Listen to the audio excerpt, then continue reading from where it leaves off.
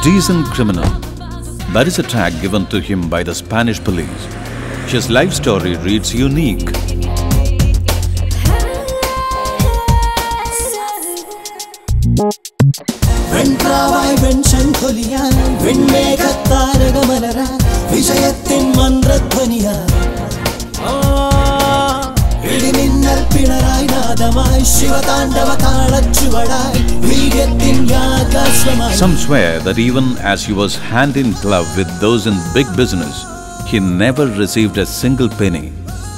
Some even say that all his money went to charity.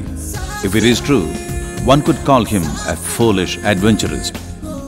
But his brilliance was undoubted and his each move totally unpredictable.